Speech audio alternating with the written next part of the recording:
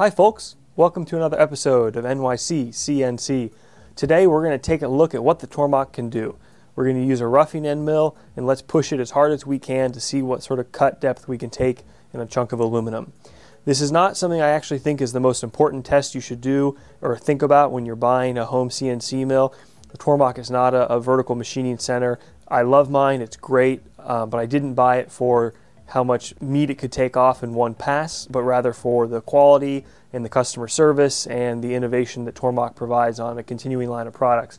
But a lot of people have asked for it, and doesn't mean we can't have a little fun with it. I'm going to use this half-inch three-flute uh, high helix carbide rougher from Maritool. Let's uh, take a look at G-Wizard for some speeds and feeds, and then let's see what we can get uh, out of the mill. All right, I've got my carbide end mill, three-flute, uh, three-quarter inch stick out. Check the rougher, and let's assume we're going to try to cut uh, full depth of cut, half an inch. I know my horsepower is on the Tormach is max around 3,000 RPM. On the lightest cut speed, that means 17 inches a minute, 0.75 horsepower. If we were to kick that up to here, we should be able to go 35 inches a minute, which is right at the peak horsepower. So let's go ahead and uh, take a look at the machine, see what we get. We're going to start with a 0.3 inch depth of cut at 18 inches a minute. That should be about half a horsepower. This should be a nice and easy cut to start off this test with.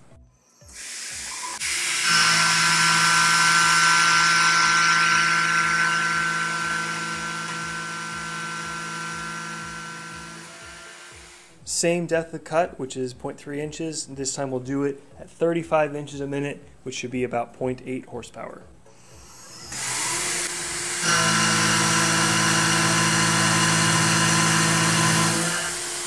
Sounded a little bit more of a strain, but uh, I think we've got some room left here to, to take a more aggressive cut. Okay, third and last cut at this depth of cut. Again, we're still at 0.3 inches. We're going to try it at 50 inches a minute. According to the G-Wizard, that's 1.25 horsepower. Uh, just starting to push the limit of uh, what the Tormach can do. I wanted to mention as well, it's important that you choke up on the end mill as I'm doing here so that you minimize the tool stick out from the tool holder.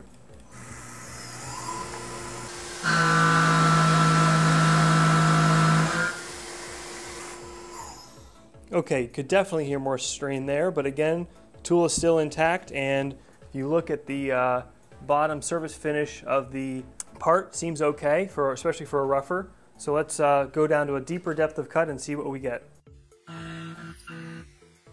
Okay, here come the real tests. Half an inch depth of cut. I'm going to start off at 18 inches a minute. That should be about three quarter of a horsepower. Again, all of these tests are being run at 3,000 RPMs. Let's see what happens.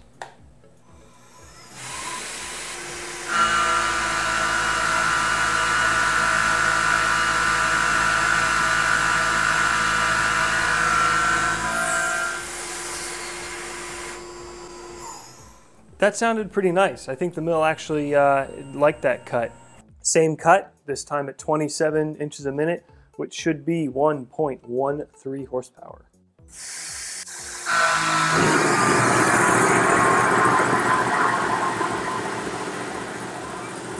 Okay, sorry, bad timing on the air compressor. Um, that definitely sounded under more strain. Let me clean off the material here and try that again. Okay, let's try that again. Half an inch depth of cut, 27 inches a minute. It sounds like this is pushing the limit of the tool. Uh, let's take a look.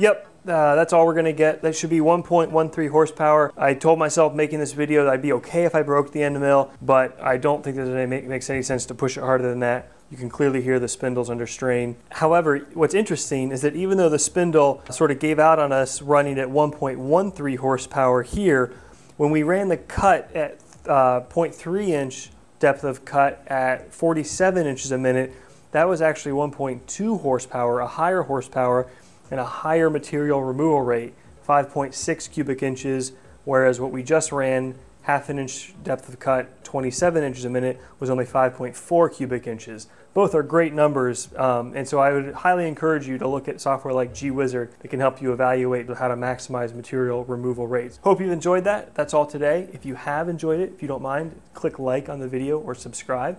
Otherwise, uh, stay tuned for more. Thanks, folks.